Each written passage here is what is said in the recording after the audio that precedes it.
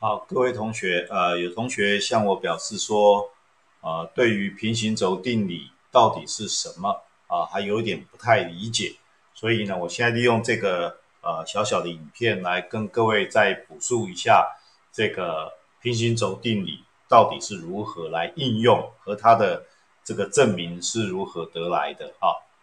好，首先我们先了解一下。对于转动动能，我们已经啊介绍过，它就是等于二分之一 i omega 平方，它可以写成 i omega 平方，因为它整体的动能可以写成二分之一的每一个啊指点的这个呃动能的转动动能的和。好，同学们大家好。啊，有同学跟我反映说，对于平行轴定理啊，还是不太理解，所以我现在利用这个短片来介绍一下啊，什么是平行轴定理。首先，我们先回到我们对于啊转动动能的讨论。假如我有五个指点 M one、M two、M 三、M 四跟 M 五，这五个指点，它们都共同的。啊，围绕着一个转动轴，就是现在我们所看到的这个转动轴啊，这个转动轴，角就围绕着这个转动轴在做转动，转动时的角速率是欧米伽，而且大家都是钢体，所以都有固定，相对于这个轴的距离都是固定的，所以啊，当这样转动的时候，每一个指点在进行的转动呢，都是。单位时间内转过相同的角度啊，虽然角度相同，可是每一个指点的速度可能不同。比如说 M 三这个指点，它啊，在一个周期之内会转一周；M two 也是一个周期之内会转一周。可是 M two 转过的圆周长比 M three 的圆周长大许多，对不对啊？所以 M two 它在这个转动时的这个切线速度呢，显然是比 m 三大许多。所以，当我们要计算总体的转动的动能的时候，就是所有指点的动能的总和。比如说 m one 这个指点，它的动能呢，就是二分之一 m one 乘 v one 的平方。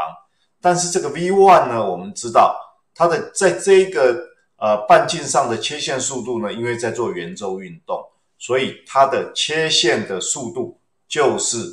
r one 乘上 omega，因为转动的角速率是 omega。我们知道啊，这个是单位时间内转多少角度，把角度乘以旋转半径就是弧长，所以每秒钟会转过啊这个弧长，那么就是它的切线速度了啊。好，所以每一个 v 跟 r one omega 之间都有这样的关系。所以每一个 v one 平方、v two 平方都可以写成 r one omega 的平方，这边是 r two omega 的平方。所以把所有指点五个指点的动能全部加起来的话，你就会得到下面这个式子啊，等于把所有的动能都加起来，加起来之后大家都有相同的因子 omega 平方提在外面，然后把这些 m 跟 r 的平方的乘积放在一起，就形成这个式子。如果我们把这些求和的这些量定义为转动惯量 I 的话，那么这个式子可以写成二分之一 I omega 的平方，而 I 就是这个，我们把它写成啊求和的符号，就写成这个样子。所以如果我有五个指点，就是 I 等于一到五，对不对？有五个指点就这样子。那当然，如果我的钢体啊，我的这个呃转动的物体呢，是一个啊，连续体的分布的话，那么就要对这个连续体的质量啊，跟它的距离做一个积分，就是这个积分的啊符号的意思。那么啊，我们在现在呢，先不强调这个积分，同学们知道啊，转动惯量可以透过积分来算。好，好，以上呢就是关于转动惯量的定义。那下面呢，我们要来探讨平行轴定理是什么啊？在探讨平行轴定理之前啊，同学们先看一下，如果我有一个一样，我这个转动轴在这里，如果我现在有一个指点啊 M，我这样单独一个指点就好了。如果它的这个呃距离转动轴的这个呃距离呢是 r 的话，我们刚刚已经讲了，这个转动惯量就是啊 m r 的平方，对不对？那现在我们的考虑说，如果我把转动轴再多移动一个距离，比如说我到这个距离上，如果我要透过这个转这个轴相对于这个轴来转动，所以 m 相对于这个轴的转动的半径就加大了，对不对？变成是这个半径，转动的半径变成这个。如果这个轴跟这个之间的距离如果叫做 h 的话，那么我们知道现在的半径呢，现在我们叫 r prime 半径的话，r prime 半径是等于啊 r 加 h，所以我的 i 呢将可以写成啊 m r 加 h 的平方啊，所以这样的话。可以看得出来，对于这个转动轴，如果我的这个 m 这个指点不是相对于这个在转动，而是相对于这个轴在转动的话，由于它的距离变长了，所以它的转动惯量就变大了。所以这个是一个呃很基本的一个呃观察。那我们在之前讨论过一个很简单的应用，就是一个棒子。这个棒子如果绕过啊这个端点，跟绕过它的中心点啊做转动轴的话，如果以这个为转动轴的话，我们叫 i one；这个为转动轴的话，我们叫 i two 的话，我们知道对于一个棒子，如果它的质量是 m，它的长度是 l 的话，那么我们知道 i one 会等于十二分之一的 m l 平方。而 i two 呢？我们在之前的讨论已经知道是三分之一的 m l 平方，三分之一是大于十二分之一的，所以我们知道 i two 是大于 i one 的，这就符合我们在上面的讨论啊，这个啊绕过这个轴来做转动的时候的转动惯量是比较大的。好，那么啊这个呃平行轴定理到底是什么呢？我们知道绕过中心轴这个点呢，刚好也就是这个棒子的直心，对不对？所以如果我把 I one 称呼为 I C O M，就是所谓的直直心的转动惯量，转动轴只要通过了直心，我们就叫啊直心转动惯量。现在我把通过这个直心的这个轴。啊，平行的啊，平行的，什么叫平行呢？就是我现在转成平，以这个轴完全平行的方向移动一个距离啊，所以不是说移动一个距离，如果是这样的话就不平行，对不对？啊，要这样子才叫平行，对不对？所以我们指的是这个情况啊，所以我们现在知道，如果我把轴移到这里。移动了一个距离，这个距离假设是 h 的话，啊，那么这里的 h 刚好就是所谓的呃一半的长度，就是二分之 l。平行轴定理告诉我们说，如果你把轴从通过直心向外平移一段距离 h 的话，那么这个新的直心的转动惯量就是我们现在所谓的 i two 绕过。I two 这个轴的转动惯量将是原本通过直心的转动惯量，再加上这个钢体的质量，再乘上 h 的平方。那我们刚刚讲了，h 是二分之一 l，所以是十二分之一 m l 平方，再加上 m h，h 是二分之 l 的平方，所以我们就得到整个就是十二分之一再加四分之。二分之一的平方是四分之一，然后是 m l 平方，十二分之一加四分之一，你通分一下就得到十二分之一加十二分之三等于十二分之四，十二分之四就是三分之一。那这个结果就跟我们刚刚所讲的这个是一样的，所以这个结果其实就是平行轴定理可以得到。当然，你也可以直接用积分也可以得到这个结果。啊，那同学目前对积分不是很熟，那你就知道它可以透过这个呃平行轴定理来得到。那这就是一个简单的平行轴定理的应用。我们再来看一个，我们在这一章里面呢，啊，经常用到了一个圆盘。这个圆盘它的质量如果是 m，圆盘的半径如果是 r 的话，那么通过这个圆盘的圆心的垂直的啊这个轴啊来做转动运动的话，那么这个转动惯量 I 就是圆盘的转动惯量 I 会等于二分之一的 mr 平方，这是我们已经知道的结果，二分之一 mr 平方。现在如果我们来考虑把这根轴往旁边挪，挪到这个地方来，而且是平行的挪过来，啊，把它从这里挪过去，挪动的距离是多少呢？很明显就是圆的半径。所以是挪动的距离是 r，所以我挪动的距离 h 在这个问题里面是 r，所以如果 I C O M 是这样的话，那么我们就可以来写下新的这个我们说叫 I two 的话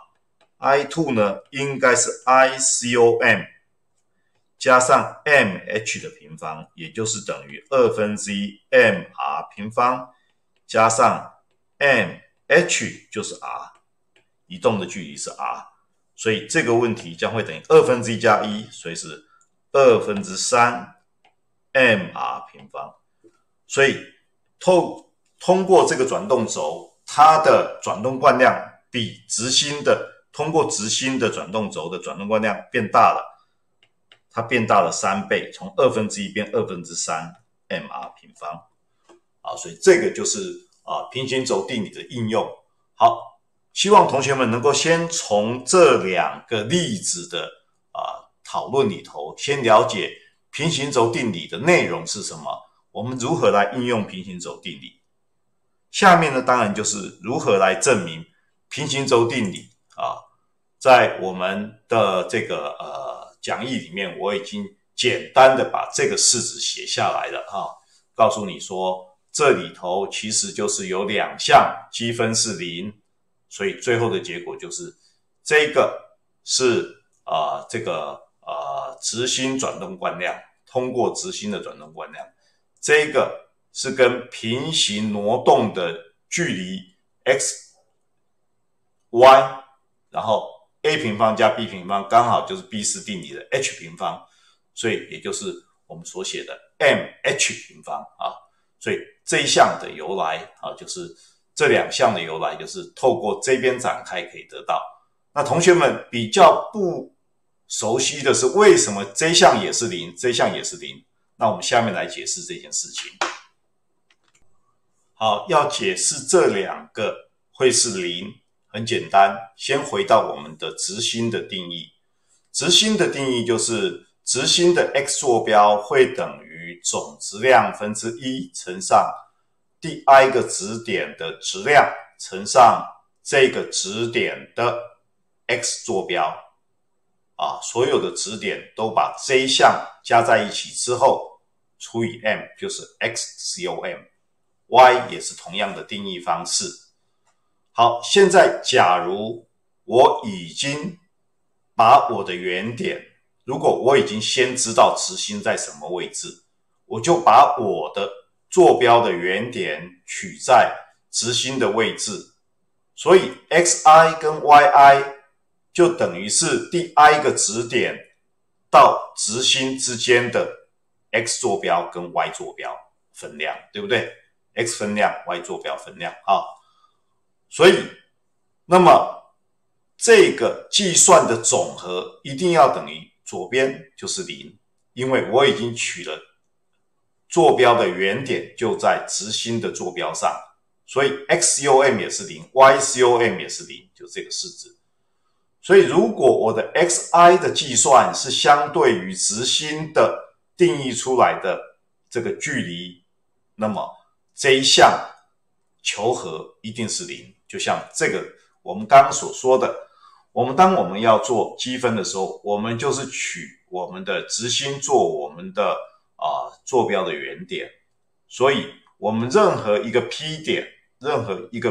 任何一个点啊，任何一个点，我都要算它的这个积分的时候，任何一个点都是相对于直心的啊。